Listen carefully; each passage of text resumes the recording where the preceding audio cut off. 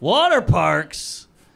Oh, Wa- that's just a piss convention. I mean, let's be honest. Wa- water parks are trash people's Christmas. Oh. There's not w- people that are well off do not go to water parks because they realize how filthy and disgusting they are. But like trash people like myself are like, when are we going back to the water park?